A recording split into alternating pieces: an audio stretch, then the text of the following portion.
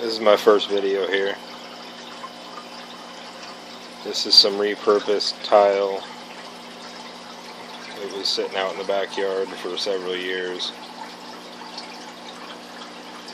This is my 75 gallon tank. Chunk of driftwood from the river bar.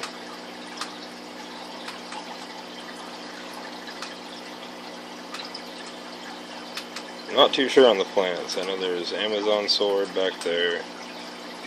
And I think that's wisteria. The leafy ones. Right there. I don't know what that grass is called. There's my silver dollar. We've had him for several years.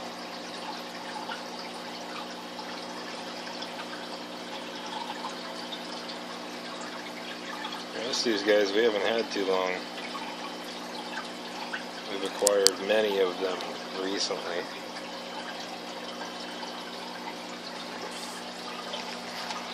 Running a deep sand bed with uh, Quikrete brand all-purpose sand. I think it's around a four inch deep sand bed. Really don't even need to run a filter. Uh, I'm running a small filter and it seems to do perfect. I've got a big canister filter if I needed it. We've got happy, happy fish.